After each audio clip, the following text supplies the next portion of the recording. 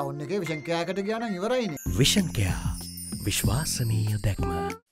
මෙම සමුළුවට සහභාගිවීම සඳහා ඊයේ දිවයිනින් පිටත්වගේ අග්‍රාමාත්‍ය රනිල් වික්‍රමසිංහ මහතා නොයිබායි ජාත්‍යන්තර ගුවන්තොටුපලෙන් ඊයේ පස්වරුවේ වියට්නාමයේ හැනොයි නුවරට ළඟා වුණා.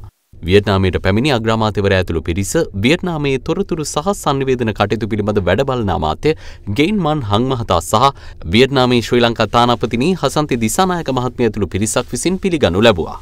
අනතුරුව හැනොයි නුවර නොයිබායි ජාත්‍යන්තර ගුවන්තොටුපලේ සිට විශේෂ රථ පෙරහැරකින් අග්‍රාමාත්‍ය රනිල් වික්‍රමසිංහ මහතා ඇතුළු දූත පිරිස නවතැන්ගෙන සිටින ලොත්තේ හෝටලය වෙත කැඳවාගෙන යනු ලැබුවා.